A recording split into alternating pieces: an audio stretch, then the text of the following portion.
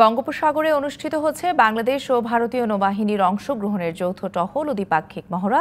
বিস্তারিত জানাতে এই মুহূর্তে মোংলা বন্দর জেটি থেকে যুক্ত হচ্ছেন সহকর্মী আমিরুল ইসলাম। আমিরুল যৌথ মহড়ায় কি কি আনুষ্ঠানিকতা হচ্ছে জানাবেন আমাদের।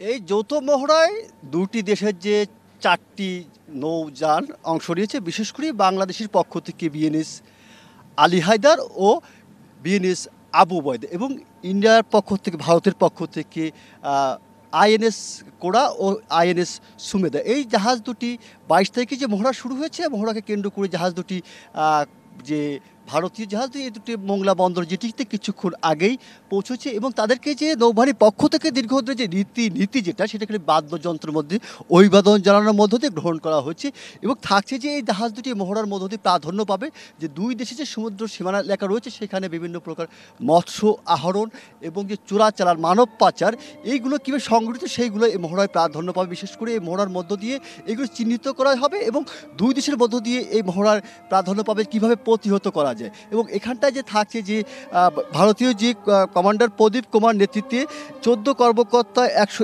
একান্ন নাবিক নিয়ে, একশত একুশ নাবিক নিয়ে আইএনএস করা এসেছেন অনুরূপভাবে কমান্ডার সুমিত মালিকের নেতৃত্বে একুশ জন কর্মকর্তা ও একজন একশত দশজন নাবিক নিয়ে আইএনএস সুমেদা টহল অংশ নিয়েছে। এবং থাকছে যে বাইশ তারিখে টহল শুরু হয়েছে এবং আগামী যে ছাব্বিশ তারিখে এই যে দুটি জাহাজ এসে, বিশেষ করে ভারতীয় নৌবাহিনীর পক্ষ থেকে, এই দুটি জাহাজ বিভিন্ন নৌবাহিনীর অনুষ্ঠানে অংশগ্রহণের মধ্য দিয়ে ছাব্বিশ তারিখে তারা কিন্তু পুনরায় যে টহলে অংশ নেবে। এবং টহলের অংশগ্রহণের মধ্য দিয়ে সাতাশ তারিখে যে এই টহল শেষ হবে এবং এর পরবর্তীতে টহল শেষে জাহাজ দুটি কিন্তু আবার যাদের যে ভারতীয় নৌবাহিনীর সঙ্গে সংযুক্ত হবে।